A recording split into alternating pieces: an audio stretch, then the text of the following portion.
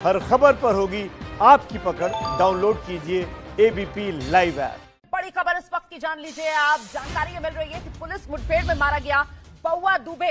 बउआ दुबे के घर से ही पुलिस वालों पर सबसे ज़्यादा गोलियाँ चलाई गई थी दो और तीन जुलाई की रात को। बउआ दुबे वही शख्स है जिसने घटना के दौरान शहीद, डिप्टी एसपी के पैरों पर धारदार हथियार से वार किए थे। इटावा में बउआ इनकाउंटर के बाद उसकी बंदूक भी बरामद हुई थी। हम सीधे रुक करते हैं। मेरे साथ मेरे सहयोगी रणवीर इस समय मौजूद हैं। रणवीर, साथियों का बलिदान व्यर्थ नहीं जाएगा। पुलिस की तरफ़ से पहले ही हुंकार भर दी गई थी। जी, बिल्कुल इस मामले में जो पुलिस ने जानकारी दी है, उसके मुताबिक बउआ दुबे, विकास दुबे का खास पड़ोसी था और उसके गुर्गे के तौर पर काम करता था।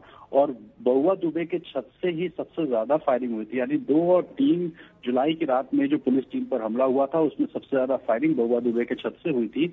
और इसके पास जो बंदूक बरामद हुई है, वो रविंद्र कुमार नाम के एक और आरोपी के नाम से दर्ज यानी लाइसेंसी बंदूक थी और इसी बउआ दुबे पर आरोप है कि उसने शहीद हुए जो सीओ थे देवेंद्र मिश्रा, उनके उन पर धारदार हथियार से भी हमला किया था। यानी इसके छत से फायरिंग हुई, उसके बाद ये लोग पुलिस टीम पर हथियारों से भी हमला कर रहे थे।